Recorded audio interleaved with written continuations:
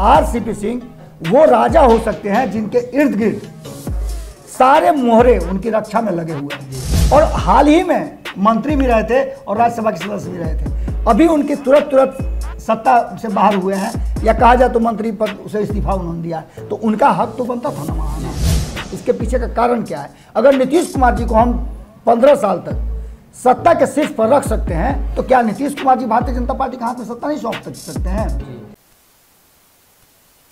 नमस्कार, भारत लाइव देख रहे हैं आप। और ये रातों रात है, जहाँ हम अक्सर बिहार के उन सियासी घटनाओं पर चर्चा करते हैं, जिसका असर बाद में होता है। घटना तो पहले घट जाती है, कल कई बड़े घटना हुए और उसके पिछले दिन, देखें तो उस दिन भी कई बड़ी घटनाक्रम हुई।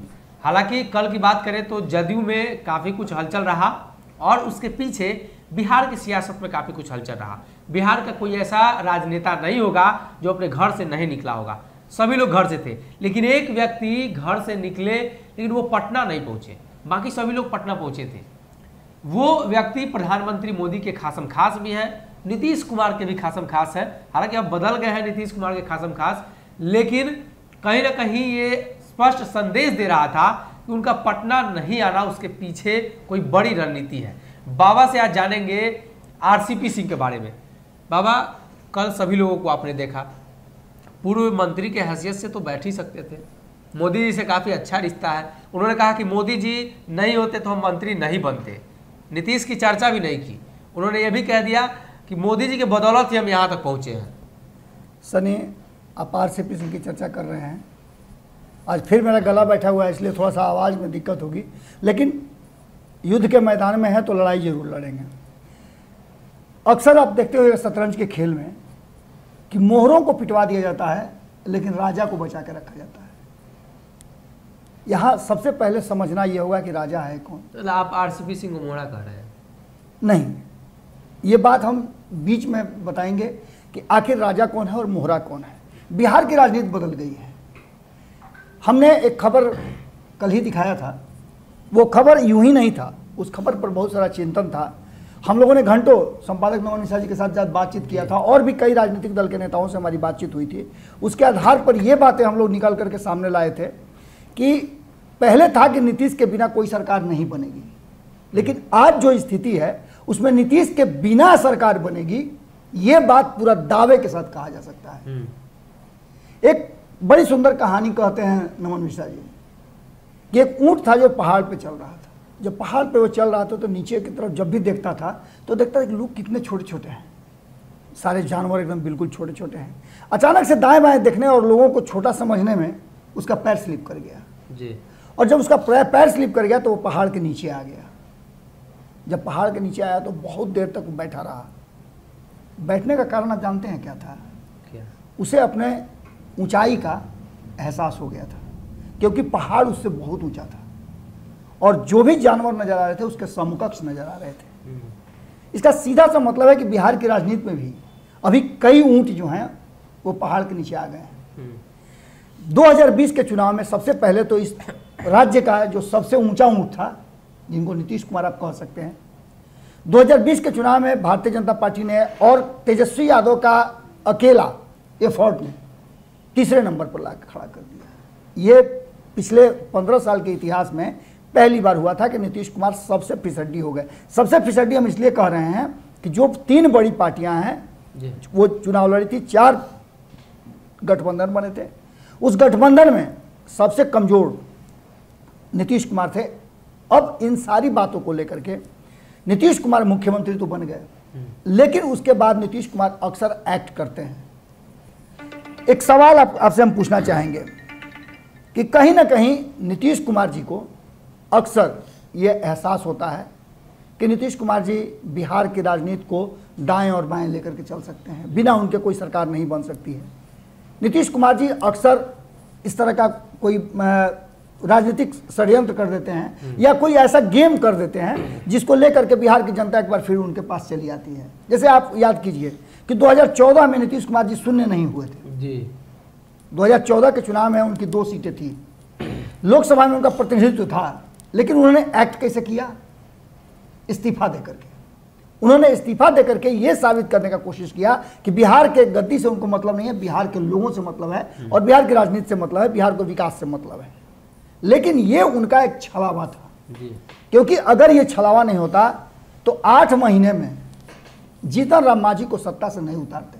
देखिए मुख्य बात तक पहुँचेंगे लेकिन ये जो संदेश हैं ये जो इतिहास के पन्नों पर अंकित जो बिहार की राजनीति का काला उजला सफ़ेद चिट्ठी जो है चिट्ठा जो है ये कहीं ना कहीं इशारा करता है कि बिहार की राजनीति किस तरफ़ जा रही है।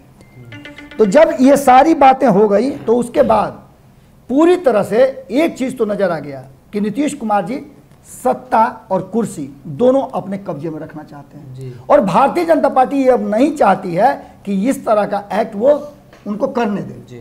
क्योंकि भारतीय जनता पार्टी के भीतर अब एक सवाल खड़ा होने लगा है कि नीतीश कुमार के पीछे हम क्यों चलेंगे? याद होगा आपको आज से पाँच दिन पहले भारतीय जनता पार्टी के कार्यक्रम में जो वरिष्ठ नेता हैं जो पुराने भा, भाजपाई हैं उन लोगों ने साफ़ तरीके से खुले मन से ये कहा था कि नीतीश कुमार जी के पीछे क्यों चल रहे हैं हम?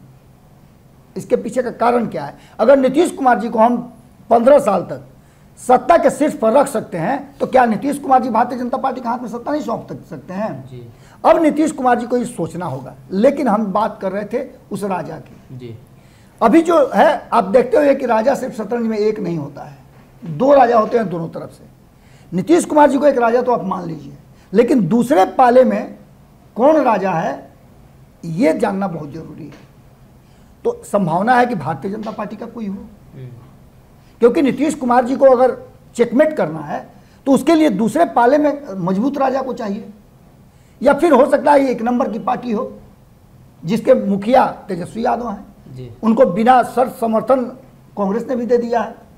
यहाँ तक कि ए आई एम आई एम का जो कुनबा था वो लगभग उनके साथ चला आया है। लेकिन वो तीसरा भी कोई है जो राजा है। कंफ्यूज करने के लिए डमी राजा को बिल्कुल।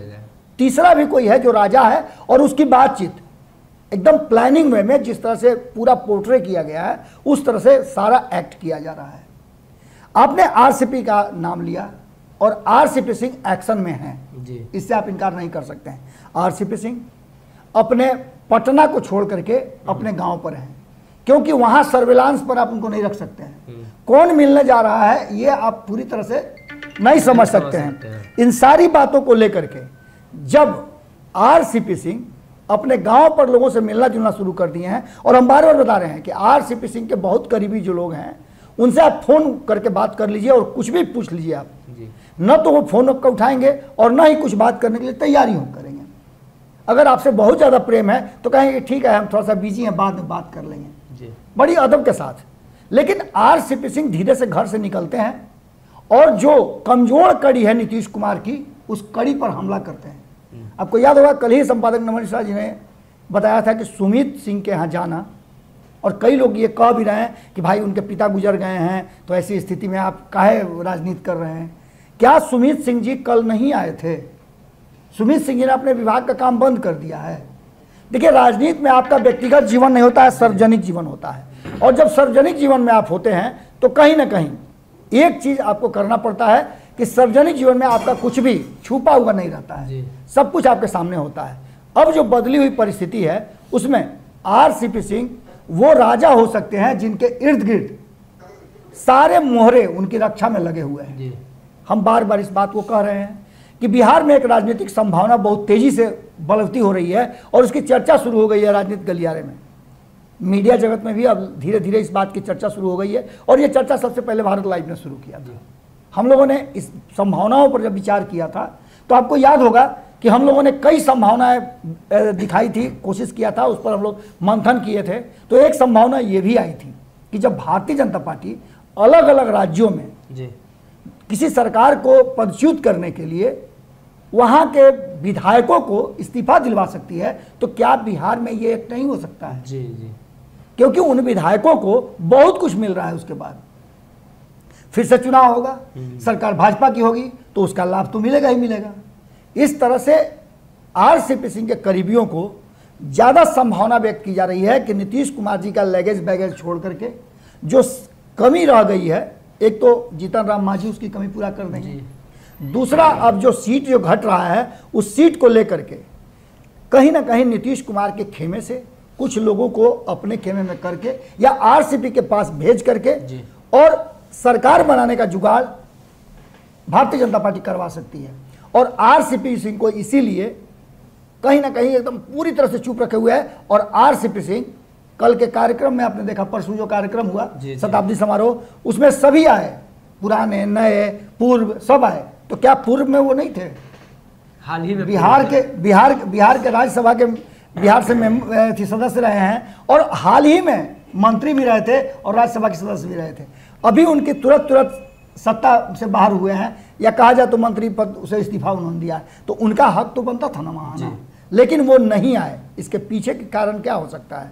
तो हमेशा युद्ध में अपने सबसे मज़बूत मोहरे को छुपा के रखा जाता है। कहीं आर सी सिंह वही मोहरा न बन के निकल जाए इस बात की संभावना ज़्यादा नज़र आ रही है क्योंकि नीतीश कुमार भी इस बात को लेकर के सशंकित हैं कि उनकी सत्ता चली न जाए क्योंकि उनके कल जो दो दिन पहले जो शताब्दी समारोह में उनका भाषण था उसमें नरेंद्र मोदी के आने को लेकर के उन्होंने जितनी बार प्रार्थना किया जितनी बार उनका धन्यवाद दिया वो इस बात की तरफ़ दर्शाता था कि वो कहीं ना कहीं दो स्टेप बैक गए हैं। और ऐसी स्थिति में पूरा का पूरा आप समझ लीजिएगा कि आरसीपी सिंह को अगर दूसरे खेमे का राजा बना करके अगर पूरा गेम चेकमेट कर दिया जाए तो कोई बड़ी बात नहीं होगी। तो कहीं ना कहीं प्रधानमंत्री मोदी के कार्यक्रम में सिंह का मौजूद नहीं रहना, ये बात स्पष्ट करता है कि आरसीपी सिंह कोई बड़े टास्क में लगे हैं और प्रधानमंत्री मोदी को काम करने वाले लोग पसंद है। उनके मंत्रालय में जो लोग सही से काम करते हैं, वो पाँच साल टिक पाते हैं, वरना बीच में ही उन्हें हटा दिया जाता है। हो सकता है काम मिला हो तो आरसीपी सिंह उस काम को करके ही सामने आना चाहते हो। देखना होगा आरसीपी के इस नई रणनीति और भारतीय जनता पार्टी बिहार में आत्मनिर्भर बनने की ओर लगातार अग्रसर है, लेकिन बन नहीं पा रही है, ये कब हो पाता है? और खास तौर पे नीतीश भाजपा के रिश्तों में जो करवाहट है, वो करवाहट ऐसे ही चलती रहेगी, या इस करवाहट की वजह से गठबंधन टूटेगा और नीतीश भाजपा अलग अलग हो पाएगी? फ़िलहाल के लिए इस रातों रात में। अगर ये वीडियो पसंद आई और वह बिहार के राजनीति और बिहारियत से सरोकार रखेनी तो सब्सक्राइब बटन दबा के चैनल के सब्सक्राइब कर ली। ओजे एगो घंटी बा। ओकरा बटन दबा देला से कुल सटीक और मारक खबर रुआ मुफ़्त में मिल जाई। अगर रुआ पत्रकारिता के हमनी के नया प्रयोग में सहयोग कर चाहतानी तो ज्वाइन बटन दबा दी। पेटीएम नंबर नोट कर ली nine three eight six eight one six seven double zero. धन्यवाद।